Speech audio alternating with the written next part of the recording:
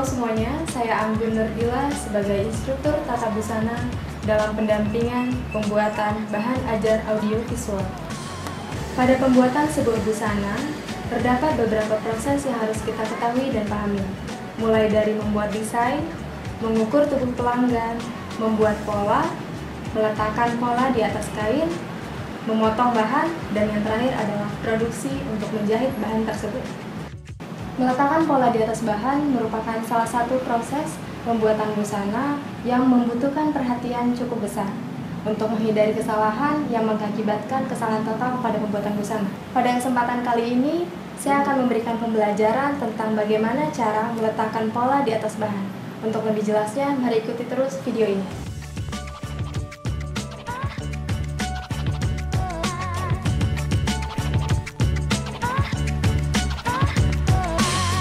Sebelum melakukan praktek peletakan pola di atas bahan, ada baiknya kita membuat rancangan bahan terlebih dahulu untuk meminimalisir kesalahan pada waktu peletakan pola di atas bahan. Rancangan bahan ini dibuat untuk mengetahui berapa banyak bahan yang diperlukan dalam membuat sebuah busana.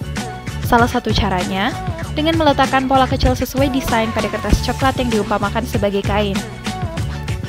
Pada rancangan bahan kecil ini, kertas coklat yang diumpamakan sebagai kain akan dibuat sesuai dengan lebar bahan yang akan digunakan dengan menggunakan skala 1 per 4. Peletakan pola kecil pada kertas coklat ini dilakukan dengan memperhatikan keefektifan bahan agar tidak terjadi penggunaan bahan yang berlebihan dengan tujuan efisiensi biaya.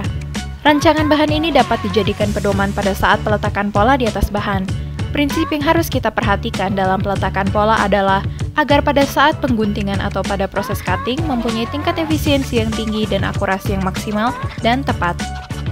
Setelah membuat perencanaan bahan pada kertas coklat dengan skala 1 per 4, selanjutnya kita bisa membuat peletakan dengan bahan dan ukuran yang sebenarnya. Berikut hal-hal yang diperlukan untuk melakukan peletakan bahan. Rancangan bahan, jarum pentul, meteran jahit, kapur jahit, pemberat kain, bahan yang akan digunakan, pola yang lengkap sesuai desain. Kita mulai dengan meletakkan pola di atas bahan. Karena desain ini hanya menggunakan satu jenis bahan, maka seluruh pola utama kecuali furing kita susun di atas satu bahan. Pisahkan pola mana yang merupakan lipatan B agar terlebih dahulu diletakkan di atas kain untuk memudahkan kita menyusun pola-pola lainnya. Dalam perancangan bahan skala 1 per 4 tentunya sudah diperkirakan. Susun semua pola hingga tidak ada pola yang tersisa. Untuk pola yang tidak digambar kampuh, beri jarak antar pola sesuai dengan besar kampuh yang diperlukan. Sematkan pola yang telah disusun di atas kain dengan acuan garis arah serat. Arah serat merupakan hal penting yang perlu diperhatikan saat meletakkan pola di atas bahan, agar menjaga posisi pola sesuai dengan yang dibutuhkan. Arah serat menentukan posisi pola di atas bahan. Arah serat digambarkan menjadi beberapa posisi seperti lurus vertikal, di mana pola akan diletakkan sesuai dengan arah serat bahan, yaitu memanjang. Arah serat horizontal, di mana pola akan diletakkan dengan posisi pola yang akan diubah pada lebar bahan atau diagonal yang biasa digunakan untuk pola dengan potongan serong. Hal yang tidak kalah penting lainnya adalah bagaimana cara kita menyematkan pola dengan menggunakan jarum pentul. Cara menyemat pola dengan menggunakan jarum pentul yang baik adalah semat pola terlebih dahulu pada bagian arah serat kain agar posisi pola tetap lurus dan tidak mudah bergeser.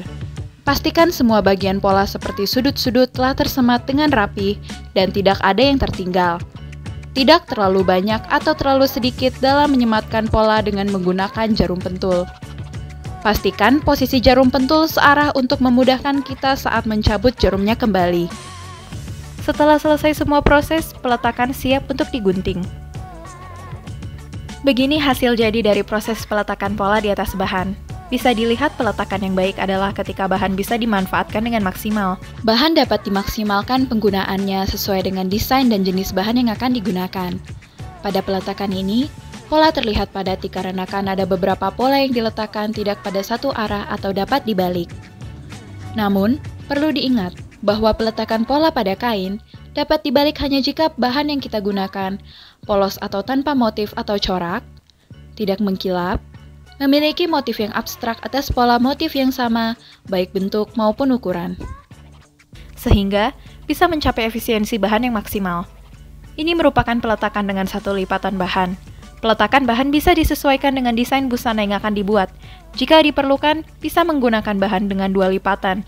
Kedua tepi kain dilipat secara bersamaan ke tengah, lalu jika desain busana yang akan dibuat asimetris, maka saat peletakan bahan bisa dibuka menjadi satu layer. Dengan begini, peletakan akan menjadi lebih efisien. Terima kasih telah menyaksikan video pembelajaran ini. Semoga bermanfaat dan jangan lupa untuk saksikan video-video berikutnya. Sampai jumpa.